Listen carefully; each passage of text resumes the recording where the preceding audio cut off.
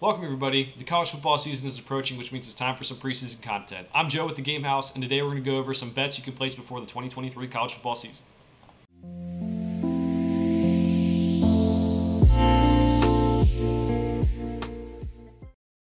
All right, so the best place that I find value in betting on college football is mostly over under win totals. That's what this whole article is going to be about. We're going to go through it.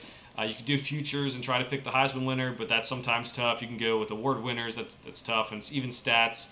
Uh, that's more of a niche thing, but we're going to go with just some some teams I think you could do better than what their over under win total is. So Kansas Jayhawks over six wins. You know, last year made a bowl game. That was great. They bring a lot of production back from that team. And they also have the opportunity to win games, three non-conference games uh, over, excuse me, yeah, Missouri State, Illinois, and Nevada in conference games. So you have BYU, UCF, Oklahoma State, Oklahoma, Iowa State, Texas Tech, and Cincinnati, which they can they can win those games. I think those are the winnable ones. Um, I think six wins might be more of a uh, probability than, than maybe having eight or nine, but uh, at the end of the day, at the very least, I think this could be a push uh, with the six wins here. I think that they can be a good team again with Jalon Daniels at quarterback, and even if he goes down, they have Jason Bean who's, who's stepped in very well. All right, Miami Redhawks over six and a half wins. Chuck Martin's done a great job with this program since he started. They've been bowl eligible since 2018, besides the COVID shortened 2020 seasons. 12 returning starters this year, but includes Brett Gabbert, uh, the starting quarterback who's been there for what seems like forever now. Uh, non conference, they play Miami, Florida, in the Battle of Miami's. Uh, UMass, Cincinnati, Delaware State. The the Red Hawks can win at least two of those games, if not three, if, if they really pick off Cincinnati on a bad day. Um, that means they need to win five conference games. They do play Toledo and Ohio, but they avoid some of the other top teams in the MAC. Uh, this is a team that I think could win seven games, uh, maybe eight, possibly nine if they get really lucky. So um, that's why I think the value's there. I think at a minimum they win six, but I do like the chances of them going over six and a half wins. Kentucky Wildcats over seven wins. Now, everything kind of went wrong last year for Kentucky, and they still got to seven wins. So, uh, Will Levis was injured. Uh, the offensive line was very bad. They've addressed that. They got Devin Leary in the transfer portal to replace Will Levis, who now pro, went pro. Uh, offensive line had plenty of transfers. They actually have not just good players, but a little bit of depth up front as well. Liam Coen is returning to the offensive offensive coordinator spot after going back to the NFL. Remember in 2021, the offense was better with Will Levis at quarterback because Liam Coen was the offensive coordinator. He should make things easier for Devin Leary. Non conference schedule, they play Ball State, Eastern Kentucky, Akron, and Louisville. That's three, if not four wins right there, uh, unless something goes horribly wrong. Conference play, they have winnable games Vanderbilt, Florida, Missouri, Mississippi State, and South Carolina.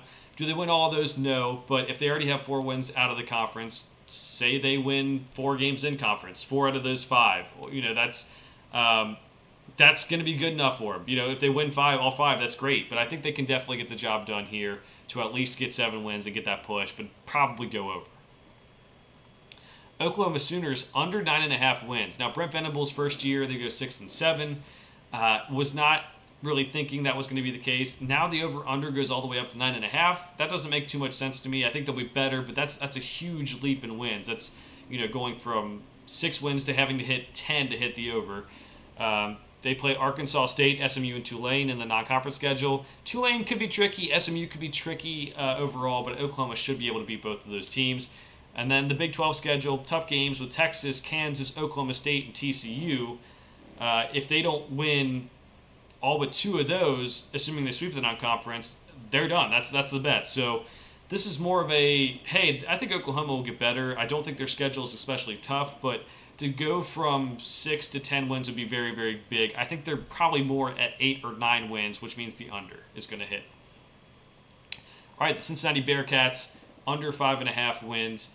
Uh, they won nine games last season with Luke Fickell, but now they have just four returning starters. Everyone left the program, and Scott Satterfield's hit the transfer portal and has a couple returning guys who I think are good, but it's going to be tough to get over five and a half wins in a new conference and everything. So they play Eastern Kentucky, Pittsburgh, and Miami, Ohio non conference.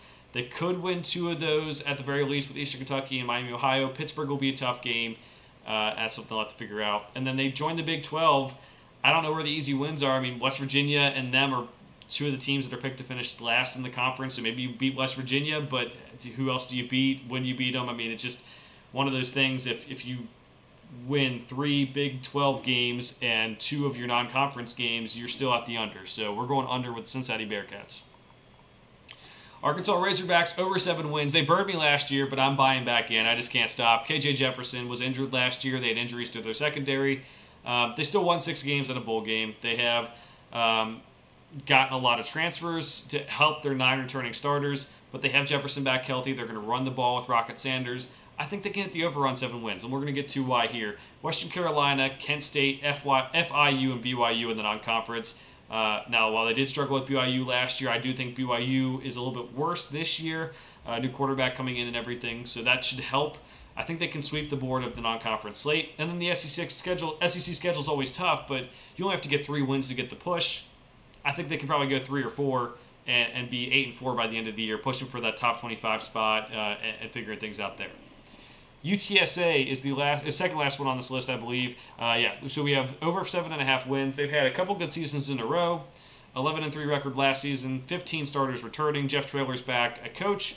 Uh, quarterback Frank Harris is back. Receiver Zakhari Franklin is transferring out, or has transferred out to Ole Miss. But their offense should be humming still at 36.8 points per game. Non conference, Houston, Texas State, Army, Tennessee. Very tough, but I think they can win two of those. And then they're joining the AAC, which is a new battle for them as they were in this USA before.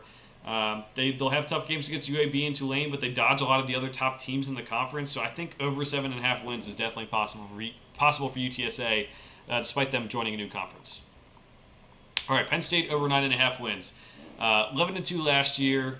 We're 13 returning starters from last season. They've hit the transfer portal to help with that too. They have stars with Nick Singleton at running back, left tackle Olu Fashanu. They're going to need second year quarterback Drew Allar to step up to really help them out. But there's a lot of, I would say, optim- optimism, or excuse me, there's there's a lot of uh, there's a lot of hope that he could be very good uh, this year for them, and even maybe better than optimism, more optimism that he could be better than uh, Sean Clifford last year. Sorry, I'm fumbling over my, my words here. Uh, the defense ranked 10th in the country last year and has talent on every level of the defense. You know, pass rushers, secondary, doesn't matter. Uh, out of conference, they play West Virginia, Delaware, and UMass. Should be able to win all those. Tough part comes with the Big Ten, but last year they handled everyone but Ohio State and Michigan. Uh, Ohio State Michigan. Um, that's where it gets tricky here. I think they can go 10 and 2 again this year with two losses to Ohio State and Michigan, but I also think they could beat one of those teams. So even if they slip up somewhere else, it could be 10 wins. I do think 10 wins is a reasonable goal for them. So I'm taking the over on that. There's a lot of faith going into Drew Allar being what he, you know recruiting ranking says he says he is, but at the end of the day, they're talented uh, on every level of both the offense and defense. I think they can get the job done. So we're going over with Penn State. Let me know what bets you think will hit this year. Let me know what over unders you're looking at for this year for college football. Uh, let me know in the comments down below. For now, thanks for watching. We'll see you guys next time.